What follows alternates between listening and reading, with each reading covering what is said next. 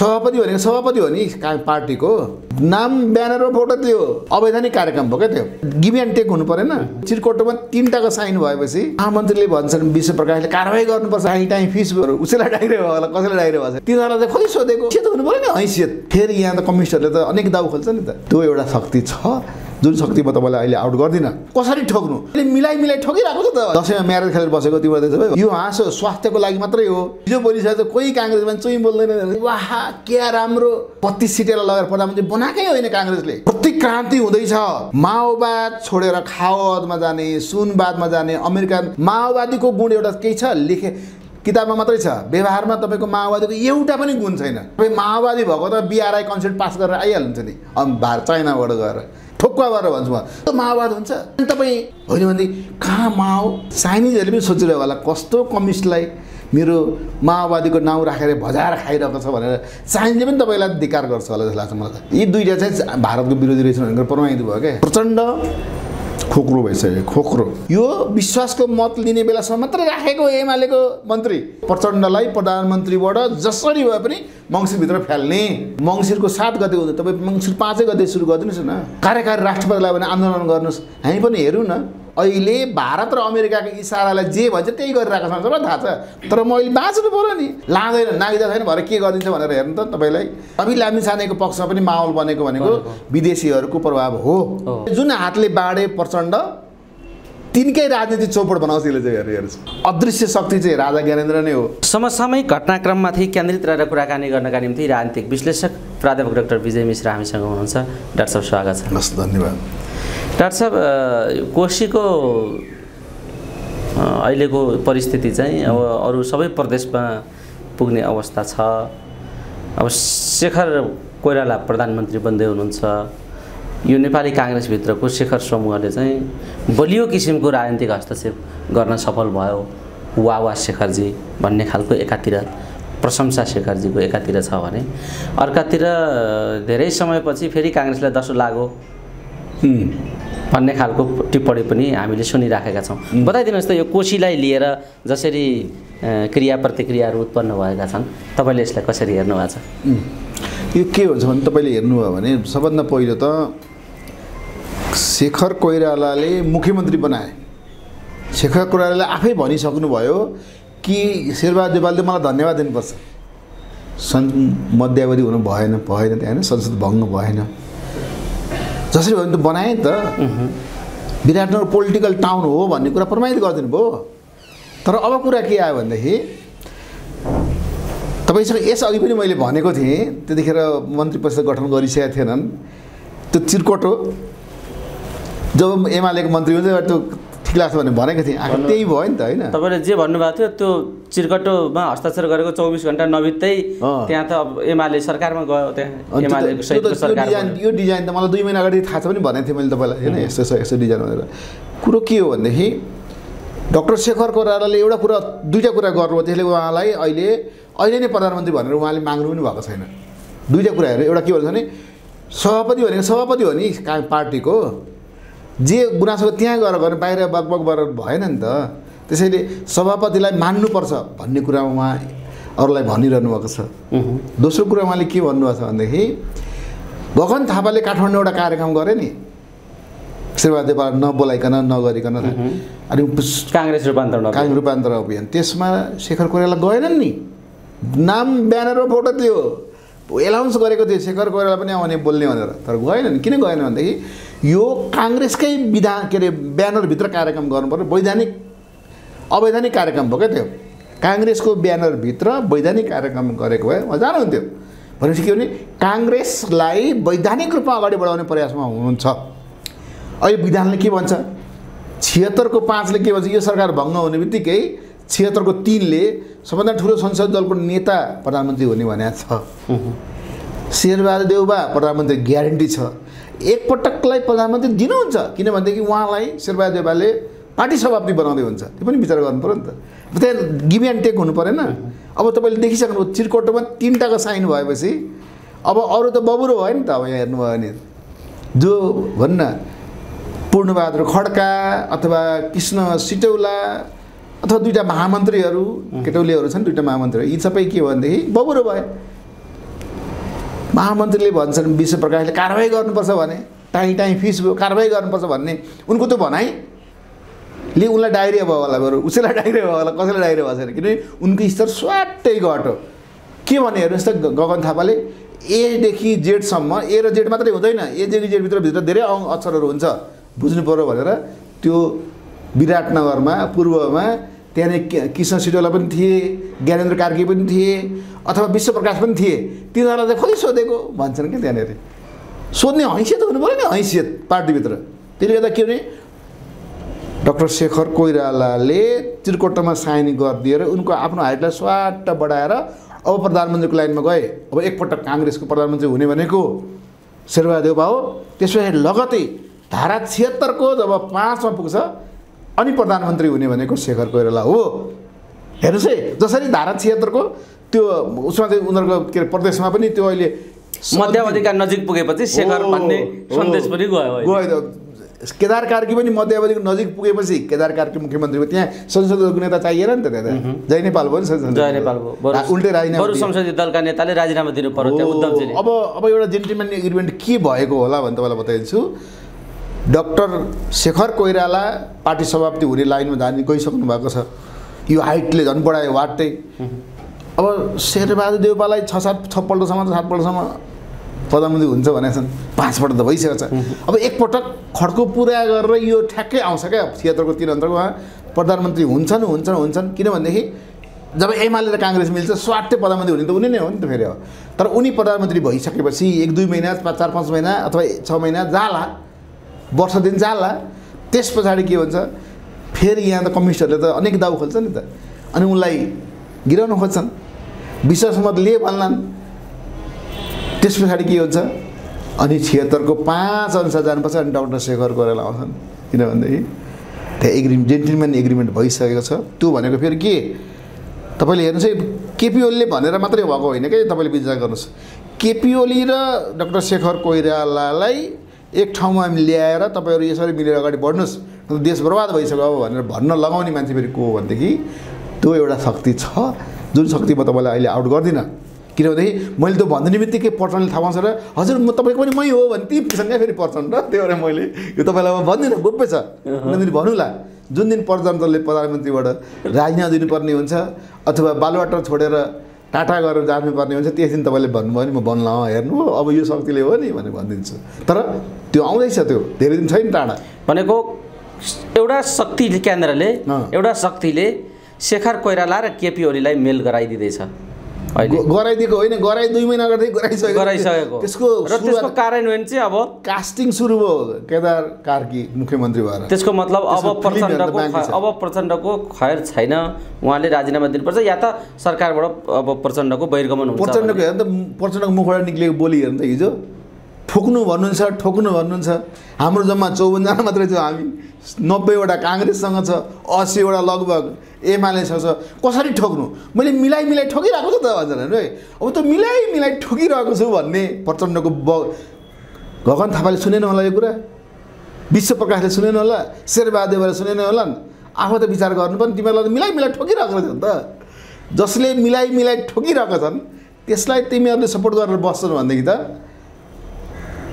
दसैँमा म्यारेज खेलेर बसेको तिमीहरूले सबै भन्नु पऱ्यो नि त। डाक्टर साहब यो एउटा एउटा सन्दर्भ डाक्टर साहबले राखिदिनु भयो प्रचण्डको बहिर्गमन हुँदैछ भन्ने कुरा डाक्टर साहबले प्रष्ट ढङ्गले अब आइगयो सबै सबैले भने काङ्ग्रेसको मान्छेले त अब भन्नु मैले आज फेसबुकमा लेखिदिइसकेँ। म एउटा हाँसेको फोटो हालेँ यो हाँसो हेर्नुहोस् है यो हाँसो स्वास्थ्यको लागि मात्रै हो। त्यो प्रचण्डले भनेको ठोक्छु मिलाइ मिलाइ ठोक्छु भनेको र ठोकाइ खानेहरू चाहिँ दसैँमा रमाएको कारणले म हाँसेको होइन है भनेर लेखिदिएछु मैले हेर्नुहोस् है। किन दसैँमा रमाएको त्यत्रो प्रतिक्रिया आउनु पर्ने हो नि। हिजो बोलिसकेको छ कोही काङ्ग्रेस मान्छे चुइँ बोल्दैन डाक्टर साहब एउटा कुरा। प्रचण्ड यस कुराबाट अलि आक्रोशित र अतालिएको स्थिति पनि देखिन्छ। किनभने उहाँले यो काङ्ग्रेस भनेको पार्टी हो कि पार्टी हो कि यो मोर्चा हो कि अभियान हो कि के हो केही बुझ्न सकिएन। पनि भन्नुभयो नेपालको पुरानो जेठो पार्टी प्रजातन्त्रको निम्ति लडेको नेपाली काङ्ग्रेसको एउटा समर्थनमा उहाँ प्रधानमन्त्री हुनुहुन्छ। यति धेरै सिट नेपाली काङ्ग्रेसको छ जनताले निर्वाचित गरेर पठाइदिएका छन् काङ्ग्रेसका सांसदहरूलाई। तर उहाँ यो पार्टी हो कि पार्टी हो कि अभियान हो बुझ्न सकिनँ मैले भन्दै हुनुहुन्छ प्रचण्डले। यो नेपाली काङ्ग्रेसले कसरी सहन सक्छ? होइन नेपाली नेपाली काङ्ग्रेस सहने? काङ्ग्रेसलाई उस उकासेर अब चाहिँ अब छोड्न खोजेको क्या काङ्ग्रेसलाई किन? यति भनिसकेपछि शेरबहादुर देउपाले के हातमा दही जमाएर बस्ने भने हामीले प्रश्न उठाउन सक्छ नि त। तपाईँले त यति भनिसके मैले के भन्दैछु भने नेपाली काङ्ग्रेस तपाईँ प्रचण्डलाई म एउटा सवाल भन्छु क्या। तपाईँलाई नेपाली काङ्ग्रेसले वाह क्या राम्रो प्रचण्डजी क्या राम्रो जुङ्गा क्या राम्रो केस भनेर भनेको होइन क्या प्रचण्डजीलाई। प्रचण्डजीलाई त्यो भनेर बत्तिस सिटेर लगेर प्रधानमन्त्री बनाएकै होइन काङ्ग्रेसले। त्यो त भारतले यसलाई थमाइ थमाइ राखी अलिक दिन काम छ यसको। अमेरिकाले अलिक दिन यसको काम छ हामीलाई। त्यसले गर्दा तिमीले हेर सहयोग गरिदिए यसलाई यसै मार्फतबाट केही काम गराउनुहुन्छ भनेर तपाईँलाई पुँजीवाद पनि बनाए। हेर्नुहोस् म के भन्छु उनले के भन्छन्? प्रतिक्रान्ति हुँदैछ त्यसको लागि हामी लड्छौँ भने होइन प्रचण्डले। मैले प्रतिक्रान्ति तपाईँले गर्नुभयो म एक दर्जन दिन्छु। माओवाद छोडेर खाओवादमा जाने सुनवादमा जाने अमेरिकनवादमा जाने त्यो प्रतिक्रान्ति होइन? हेर्नुहोस् है त।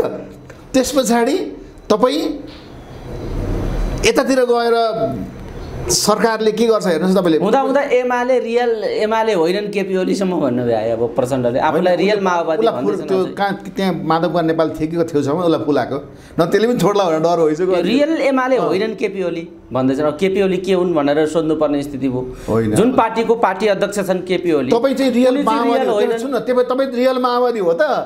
माओवादी कुन चाहिँ गुण छ उहाँसँग अहिले भन्नु त कुनै गुण छ एउटा पनि देखाउनु त ल माओवादीको गुण एउटा केही छ? लेखे किताबमा मात्रै छ। व्यवहारमा तपाईँको माओवादीको एउटा पनि गुण छैन। एउटा गुण छैन। तपाईँ माओवादी भएको त बिआरआई कन्सेप्ट पास गरेर आइहाल्नुहुन्छ नि। अब भार चाइनाबाट गएर। तपाईँ तपाईँको शरीर सबै माओवादी रहित के अरे मा माओवादीको अंश जिरो पर्सेन्ट छ तपाईँभित्र। ठोक्वा गरेर भन्छु म। समान्ततर्फ समान्तवाद हुनलाई जुन चाहिँ समान्तिक के सामन्तको क्यारेक्टर बोकेर हिँड्छ त्यो माओवाद हुन्छ।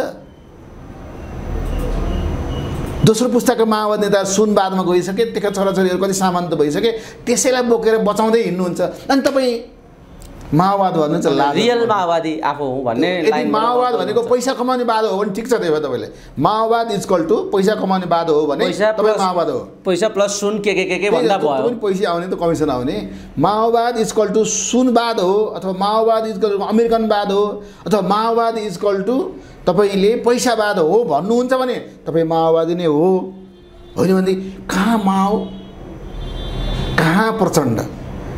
तपाईँले यो माओको फोटो राखेर जुन भजाइरहनु भएको छ नि चाइनिजहरूले पनि सोचिरहेको होला कस्तो कम्युनिस्टलाई मेरो माओवादीको नाउँ राखेर भजाएर खाइरहेको छ भनेर चाइनिजले पनि तपाईँलाई धिकार गर्छ होला जस्तो लाग्छ मलाई किनभनेदेखि हाम्रो माओको यस्तो माओको त्यस्तो विश्वमा नाम छ प्रचण्ड हेर्नुहोस् त माओवाद हुँदै हुँदै हुँदै हुँदै हुँदै प्रचण्ड पथरे त्यहाँबाट कहाँ गएर कहाँ पुँजीवादको सबैभन्दा राम्रो व्यक्तित्व को त अहिले भने प्रचण्डको नाम आउन सक्छ हेर्नुहोस्। डाक्टर साहब प्रचण्डको जीवनशैली कार्यशैली भ्रष्ट आचरण सबै कुरा नै डामाडोल बा बाहिर नाङ्गै आइराखेको छ। अब सत्तासीन दलका सांसद सुनिल शर्माले नि सु सुनिल शर्मा नै काफी छन् प्रचण्डको आर्थिक घोटालाको भण्डाफोर गर्न। उनले त्यत्रा विषयहरू उठाएका त्यसमा जवाब दिँदैनन्। सुन्नु तपाईँलाई बताइदिउँ न जसरी जनताको हालत यस्तो छ, प्रदेशको चुनाव गरायो नि? त्यस्तै महाधिवेशन गराएर हेर नि तिमीहरू चुनाव गोप्य मतदान गराएर आफ्नो पार्टीको। सर्वसम्मति लिएर हुँदैन प्रचण्डज्यू तपाईँको माओवादी पार्टीभित्रकै तपाईँले गोप्य मतदान गराउनु तपाईँको तपाईँ नै फेरि कहाँ पुग्ने थाहा छैन। डाक्टर साहब यो एउटा प्रसङ्ग छ। कोशी नै अहिले समग्र राजनीतिको केन्द्रमा छ। एक त कोशीले सङ्घीय सरकारलाई नै एउटा हल्लाइदियो प्रचण्डको दिमाग घुमाइदिरहेछ अहिले। भन्ने कुरा बुझिन्छ किन उहाँ काङ्ग्रेसमाथि खनिन थाल्नु भएको स्थिति छ। एकातिर शेरबहादुरजी नबोलिकनै काम चलाउनेमा फेरि शेरबहादुरजी माहिर हुनुहुन्छ। यो पनि प्रष्ट प्रचण्डलाई थाहा छ। त्यस कारणले अब अहिले कोशी चाहिँ दुई तिनवटा कुराले कोशी राष्ट्रिय राजनीतिको केन्द्रमा चर्चाको भागमा ल्याएर छलफल गर्नुपर्ने स्थिति देखा पर्यो। किनभने अब कोशीको नाम पुनर्लेखन गर्नुपर्छ भन्ने समितिले गरेको आन्दोलनले आज हडताल छ। धनकुटादेखि सारा कोशी क्षेत्र अहिले चाहिँ मान्छेहरूको चाडबाडका मुखमा आवत जावत नै बन्द भएको छ। विचल्ने स्थिति छ आम हडताल छ त्यहाँ। एकातिर अर्कातिर सरकारको सारा सङ्घीय सरकारलाई कै जग यसले चाहिँ यही कोशीका कारणले हल्लिने काम पनि सुरु भइराखेको छ। भनेपछि अब परिस्थिति कता जान्छ बताउनुहोस् त? कोशीले दिइराखेको सन्देश। यतातिर आन्दोलन छ आम हडताल छ नयाँ सरकार बन्दैछ एमाले सहभागी छ। प्रचण्डजी हाम हामीले दुई तिहाई ल्यायौँ भने यो चाहिँ पहिचानसहितको राज्य भन्दै हुनुहुन्छ। अब त ठ्याक्कै सरकारका मन्त्री मुख्यमन्त्रीले शपथ ग्रहण गरेकै दिन कोशी ठप्प छ। यसका पछाडि काहीँ न काहीँ पुष्पकमल दाहाल भन्ने पनि मान्छेहरू भनिरहेछन् बताइदिनुहोस् न अब माओवादी प्रचण्डको भूमि विकल्प के छ? कोसीको विषयले अब कस्तो रूप लिन्छ प्रचण्डले अन्तिम बल लाउँछन् अनि खुरापात गर्नु जस्तो पहिला बताइदिनु न। झलनाथ खनाल नेपालमा प्रधानमन्त्री हुने बित्तिकै भारतले तराईतिर अलिक उपद्रव गर्नु जनता हालिदिइहाल्यो क्या त्यो टक्कर गरेको हुन्छ अब अहिले झलनाथजी फेरि चिन पुग्नु भएको छ यस्तो ठिक्क यही त्यही मौका अब नारायण काजी पनि गएको छन्। अब यो सबै कुरा हेर्दा के भने तपाईँले हेर्नुभयो भने चिनले बरु पत्याएको चाहिँ दुईजना मान्छे रहेछन्। बिआरआई कन्सेप्टको बारेमा कार्यक्रम हुँदाखेरि नारायण काजी श्रेष्ठ र झलनाथलाई बोलाए। यी दुईवटा चाहिँ भारतको विरोधी रहेछन् भनेर प्रमाणित भयो क्या। प्रचण्डलाई पनि पत्याएन। प्रचण्डलाई त एनआरएनहरूले पनि पत्याएन हौ। त्यहाँनिर राष्ट्रपतिलाई उद्घाटन गर्न लाउने भएछन् होइन। अब यो सबै के देखिन्छ भने तपाईँले हेर्नुभयो भने प्रचण्ड खोक्रो भइसक्यो। खोक्रो हेर्नुहोस् है। तपाईँले सोच तपाईँले भन्नु होला माओवादीले निर्णय गरिसक्यो। केदार कार्कीलाई सपोर्ट गर्ने भनेर। विश्वास मत दिनु निर्णय गरेर उसले घोषणा गरिसक्यो। बरु काङ्ग्रेसले गरेको छैन। हेर्नुहोस् है। तर केही पत्रिकाहरूमा के लेख्न लाग्यो भने हेर्नुहोस् हिजो अस्ति जब चु चिरकोट आउने बित्तिकै शपथ ग्रहण गर्नुभन्दा अगाडि अब हाम्रो गठबन्धन के हो उहाँ हाम्रै हो भनेर भनेर कहाँ कहाँ गएर बोले चित्त चित्त गएर बोले। तपाईँ त्यसको जवाब ओठे जवाब मैले दिएकै थिएँ। तर अब अब फेरि त्यो भइसकेपछि के हो अहिले बनाइसकेपछि के भने अब मिडियामा के ल्याउनु थाल्यो भनेदेखि नि यो विश्वासको मत लिने बेलासम्म मात्रै राखेको एमालेको मन्त्री। त्यो विश्वासको मत लिने बित्तिकै घोगाठाक लगाएर फेरि हाम्रो मन्त्री गइहाल्छ भन्ने खालको आशा अहिले आफ्नो पत्र आफ्ना मुखपत्रहरू लेख्न लागिरहेको त फेरि हेर्नुहोस्। किन अब बच्नु त पऱ्यो नि त। ए मान्छेको दिमाग ड्राइभर गरेर ए एमालेलाई त्यो विश्वासको मत लिने बेलासम्म मात्रै गरेको भनेर। तर जुन एउटा जेन्टलम्यान एग्रिमेन्ट भएको छ एमाले र काङ्ग्रेसको एउटा ग्रुपभित्र त्यसको मिसनै हो प्रचण्डलाई प्रधानमन्त्रीबाट जसरी भए पनि मङ्सिरभित्र फाल्ने यो कुरा त प्रचण्डजीले बुझ्नु पऱ्यो नि त।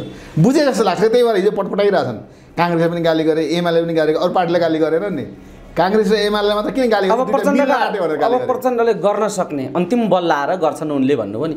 त्यो प्रचण्डको अन्तिम बल के हो? त जुइनु छ प्रचण्डसँग बल लाउने? मैले मैले भनेको के के छ प्रचण्डसँग विकल्प। मङ्सिर सात गतेदेखि आन्दोलन गर्दैछन् एउटा पक्षले। तपाईँले भनिसक्नु तपाईँ पनि कार्यकारी राष्ट्रपतिको लागि भनेर आन्दोलन सुरु गर्नु। किन दस तिहारपछि मान्छे ल्याउँछ त भनेकै हो ल्याउँछु भने चाहिँ अब तपाईँले हेर्नुभयो भने मङ्सिरको सात गते हुँदैन तपाईँ मङ्सिर पाँचै गते सुरु गरिदिनुहोस् न। मङ्सिर पाँचै गते सुरु गरिदिनुहोस्। कार्यकारी राष्ट्रपतिलाई भने आन्दोलन गर्नुहोस्। हामी पनि हेरौँ न। तपाईँको पनि कति खुट्टी देखिन्छ नि कति छन् भन्ने मान्छे। कार्यकारी राष्ट्रपति र उतातिर अहिलेको संविधान फ्यालेर हिन्दू राज्य ल्याउने भनेर आन्दोलन गर्ला नि तिनीहरूले त्यो दुइटा बिचको तपाईँले कुरा गर्नुहोस् तपाईँ पनि आन्दोलनले ल्याउनु भयो भने जनमत सङ्ग्रह गराउने पक्षमा जानुभयो भने अथवा संविधानमा संशोधन गर्ने कुरामा तपाईँ आफै जानुभयो भने ए प्रचण्ड पनि केही गर्ने भनेर देखिन्छ। होइन भने त प्रचण्ड जे गरिरहेका छन् अहिले भारत र अमेरिकाको इसारालाई जे भन्छ त्यही गरिरहेका छन्। सबैलाई थाहा छ। प्रचण्डले आफ्नो दिमागले थोरै गरेका छन्। केही गरेका छैनन्। त्यही भएर मैले प्रचण्डले कुनै काम गर्छ भने यसमा भारतले के हराएछ ए यस्तो हराएछ त्यही भएर गरेछन् भनेर अमेरिकाले यस्तो हराएछ त्यही भएर गएर चाइनामा गएर बिआरआईको बारेमा "हुँ, म त गर्दिनँ भनेर मलाई त हटाइदिइहाल्छ। म तपाईँको छँदैछु नि। तर म अहिले बाँच्नु पऱ्यो नि। मलाई प्रधानमन्त्रीबाट हटाइदिने बित्तिकै म बिआरआईको कन्सर्ट सुरु गरिहाल्छु फेरि। बिआरआई चाहियो भने त हेऱ्यो त्यसैको लागि बिआरआई ल्यायो भनेर आन्दोलन गर्नुहोस् तपाईँ त्यो अब। अब यी सबै हेर्दा के भने बिचरा प्रचण्ड जस्तो लाग्न थालिसक्यो ठिक छ डाक्टर साहब यो एउटा हामी कुराकानीको अन्तिम चरणमा छौँ।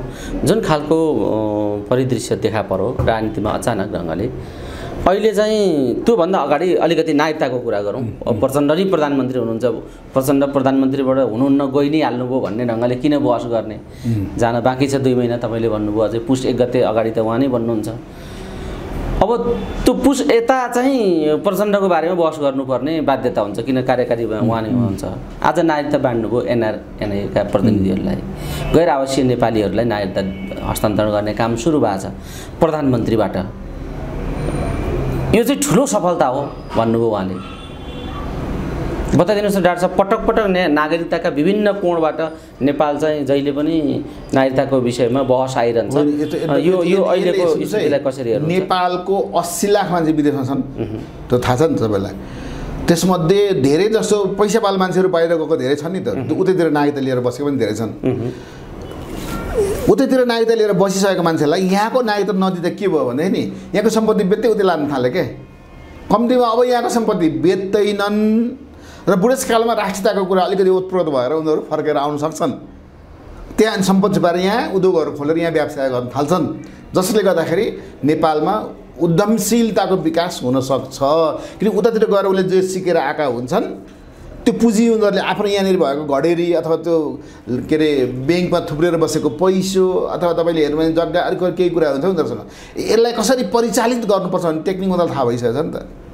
त्यो टेक्निकलाई यहाँ प्रयोग गऱ्यो भने यसले नेपाललाई ट्याक्सहरू बढ्न थाल्छ। नेपालको सुकेका ओठोहरू नेपाली आमा नेपाल आमाको रसाउने काममा उनीहरू नागरिकता पाइसकेपछि यहाँ आएर व्यापार बिजनेस बढाउने हुन्छन्। यहाँ लगानी गर्छन्। उहाँ बसी बसी पनि यहाँ लगानी गरिरहेको हुन्छन्। यहाँ कर्मचारी राखेर बेला बेलामा वर्षमा दुईपल्ट आयो भइगयो होइन? अनि त्यसले गर्दा आम्दानी हुन्छ। त्यो आम्दानी यहीँ इन्भल्भ गर्छन् यहीँ प्रयोग गर्छन् क्या? लाँदैन नागरिकता छैन भएर के गरिदिन्छ भनेर हेर्नु त तपाईँलाई। अनि त्यो लाने काम छोड्छन्। यहीँ उताको पैसा पनि यतै पठाउन थाल्छन्। जसले गर्दाखेरि रेमिट्यान्स त आएको छ आएको छ। तर यो उतैपट्टि नागरिकता लिइसकेको मान्छे यता पनि नागरिकता दिँदाखेरि त्यो थप अरू पैसा आउने भएपछि नेपालमा धेरै कुछ गर्न बाँकी रहेका कामहरू गर्न सकिन्छ।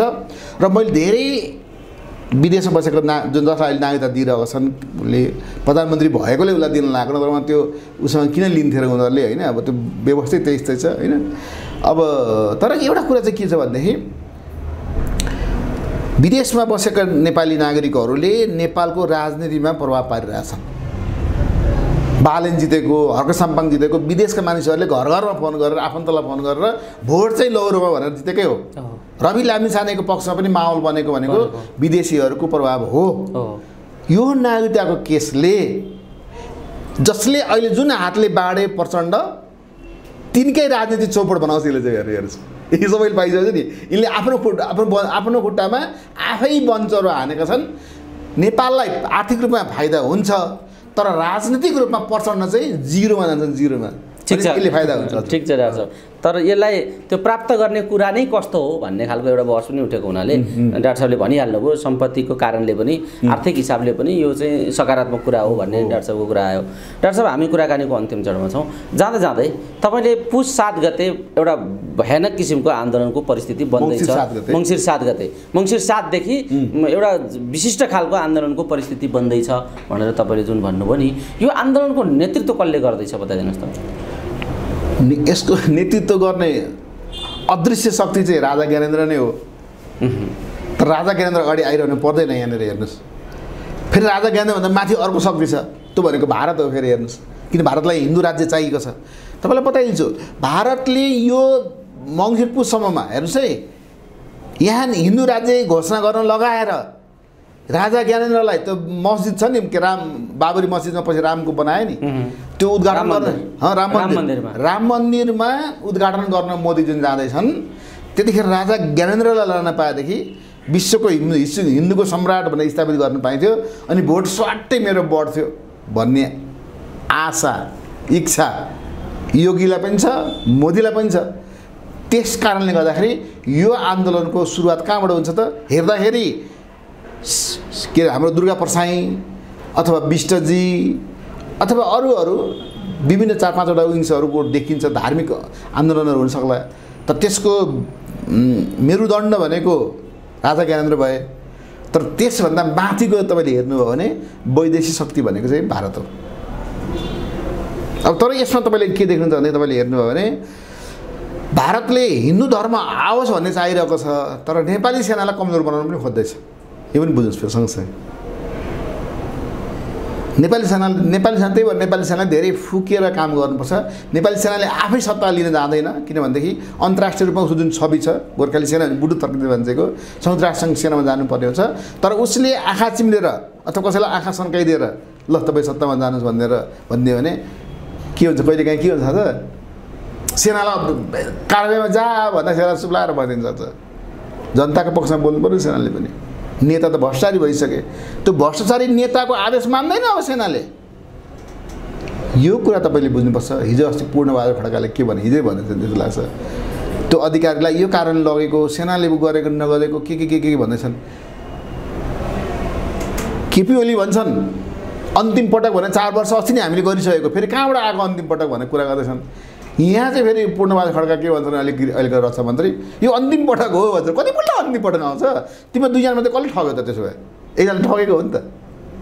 जनताले जन- जनताले त बुझ्नु पऱ्यो नि त। पूर्णबहादुर खड्काले भनिसके यो व्यवस्थामा एकदम खतरा आयो। यहाँ चाहिँ के अरे विभिन्न खालका चुनौतीहरू देखा परे भनिरहेछन्। उनी व्यवस्था सङ्कटमा पर्यो यो उपलब्धि विरुद्ध षड्यन्त्र भइरहेछ भन्ने अभिव्यक्ति उनको पनि सुनियो।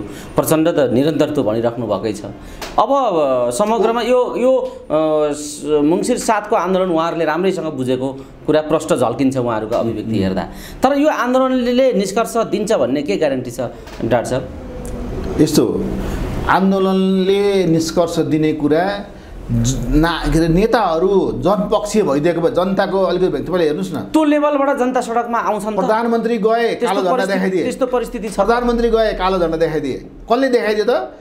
कम्युनिस्टकै मान्छेले देखाइदिए क्या। समाजवादी मोर्चा भन्छ नि उनले। होइन त्योभित्रको जो पहिले उनीहरूसँग माओवादी थिए किन त्यो क्रान्तिकारी छ नि कोष्टमा राखेको छ नि। भनेपछि पहिले माओवादी भएका ए प्रचण्ड तिमी माओवाद भन्दा अमेरिकालाई साम्राज्यवादी भन्थ्यौ अहिले त अमेरिकनवादी तिमी नै भइसक्यौ भनेर रिसाएर गऱ्यौ नि तिनीहरूले होइन? त्यसो भइसक्यो के दिने तिमीले त्यो आफ्नो जुन थियो नि मौलिकता माओवादको मौलिकता त्यसलाई तिमीले आफैले लाता हान्यौ। भने त्यस्तो नेतालाई छेपारो प्रवृत्तिको नेतालाई अब जनताले पत्याउँछ मै पत्याउनु छोडिसकिँदैन। होइन नपत्याउने एउटा कुरा हो. त्यो नेतालाई चुनावमा भोट नहाल्नु हराइदिनु त्यसलाई साजमा साइजमा ल्याइदिनु त्यसलाई चाहिँ एक सिटमा झारिदिनु जनताले दण्डित गर्ने एउटा ब्यालेटबाट दण्डित गर्ने एउटा प्रक्रिया भयो मन नपरेको नेतालाई ठाउँ ठेगान लगाइदिने कुरा जनतासँग त्यो बलियो अस्त्र छ। तर यो आन्दोलनकै त्यो त्यो उचाइको त्यो लेभलको यो व्यवस्थामाथि नै कायापलट गर्ने खालको लेभलको आन्दोलन उठ्न सक्ला। जनता त्यसरी जाने कुरामा तयार भएका छन् त। परिस्थिति त्यस्तो छ त भनेर छ्यालिस सालको मैले तपाईँलाई त्यो जिज्ञासा सात सालको आन्दोलनले सत्ता परिवर्तन गर्यो। छ्यालिस सालको आन्दोलनले सत्ता परिवर्तन गर्यो। बैसठी त्रिसठीको आन्दोलनले सत्ता परिवर्तन गर्यो। त्यो संविधान चेन्जहरू भएको छ नि पटक। त्यसमा त दलहरू थिए नि त। यसमा त एउटा राजावादी शक्तिको कुरा मात्रै अरू दल तपाईँले दल दलहरू थियो अरू दलमा आबद्ध नेता कार्यकर्ता के जनता? सुन्नु न दल भनेको त नि तपाईँले हेर्नु भने दल भनेको औँलामा गर्न सक्ने नेता मात्रै थिए छ्यालिस सालको आन्दोलनमा। औँलामा गर्न सक्नुहुन्थ्यो जिल्ला जिल्लामा बिसजना पच्चिसजना निक्लिन्थे मान्छेहरू। पछि के गरे सब त्यही पञ्चहरू पसेर त्यो पार्टी ठुलो भएको त हो। होइन पार्टी ठुलो भएको पुरानो ब्याकग्राउन्ड हेर्नुहोस् न सबै पञ्च त थिए तिनीहरू। कति काङ्ग्रेस कति थियो अथवा वामपन्थी कति थियो भन्दाखेरि तपाईँ सबै हेर्नुभयो भने के देखिन्छ भनेदेखि मानिस अवसरवादी हुन्छ हेर्नुहोस्। अहिले तपाईँले राजा आइदियो भने फेरि राजा आऊ देश बचाऊ भनेर फेरि नारा लान्छ त यहाँ लाखौँ मान्छे निक्लिन सक्छ किनभने जो आउँछ त्यसपछि लागेर हुन्छ प्रसादहरू धेरै छन् क्या नेपालीहरू। तर समग्रमा के भने राजनीतिमा सबै शक्तिलाई मूल धारमा ल्यायो भने नेपाल आमाको रक्षा गर्न सकिन्छ। एउटा शक्तिलाई भित्तामा पुऱ्याएर गर्न खोज्यो भने अरूको अभिगत हुन्छ। त्यसले गर्दाखेरि प्रचण्डको अभिगत सुरु भयो। प्रचण्डले सुरुमा माओवादको आउँदाखेरि अथवा पहिलोपल्ट बालुवाटार पस्दाखेरि प्रचण्डले बोलेको वक्तव्य हेर्नुहोस् त। केही गर्लान् भनेको त के गरे त भन्दाखेरि आफू तथा आफ्ना नजिकका मान्छेहरूलाई त उहाँका त के के छन् आफू तथा आफ्ना कार्यका नजिकका मान्छेहरूलाई सामन्त बन्नको लागि सफल बने सफल भए सामन्त बनाए। राजा महाराजाले गुमाएको जमिन फिर्ता ल्यायौँ भने अहिले चुचे चुचे नक्सामा मोदी आएर घुम्दा चुई बोल्दैनन् प्रधानमन्त्री। यो विचित्र खालको उहाँको वक्तव्य विगतदेखि उसले उसले तर यस्तो बुझ्यो क्या नेपालमा राजनीति गर्दाखेरि हेर्नुहोस् है आफै गर्न नसक्ने रहेछ। विदेशीको इसारामा गर्नुपर्ने अनि विदेशीलाई चाहिने छ युज गर्ने न फ्यालिदिने गर्दो रहेछ भनेर प्रचण्डलाई के भन्यो अब? भाइ जसरी हुन्छ सत्तामा रमाउनुपर्छ। सत्ताबाट गएँ भन्ने बित्तिकै अदालतले मलाई गोपी क्याच गरिदिन्छ। अदालतले मुद्दा चार पाँचवटा छ कुनै एउटा मुद्दामा मलाई बेकुब बनाइदिन्छन् भन्ने कुरा भएपछि के हुन्छ भनेदेखि त्यो सबै डरले गर्दाखेरि उनी सत्तामा टाँसिराख्न खोजेको हो। तर यसपालि मङ्सिर महिनामा आउने हुरी बतासले उनको सत्ता लग लग लग लग लग लग गरेर काम छ। तर माओवादी र एमाले मिल्ने बित्तिकै उनलाई हार्ट एट्याक आउँछ। राजनीतिक हार्ट एट्याक भनेकै फेरि मैले। राजनीतिक हार्ट एट्याक आउँछ। त्यस पछाडि उनलाई छोडेर जान्छन्। फिल्ममा दोहोरिन्छ क्या रिल। कहिले कहिले हुन्छ पहिले गुन्डाले गर्छ र हिरोले गर्छ पछि एउटा गर्छ नि त। अब हिरोले गर्ने बेला आएको तर एउटा फेज आइसकेपछि फिल्म अन्त्य हुनै पर्छ अन्त्य हुनैपर्छ। डाक्टर साहब यो अब त्यही भएर मैले भनेको प्रचण्ड इराको समाप्ति हुने दिनहरू आउँदैछ।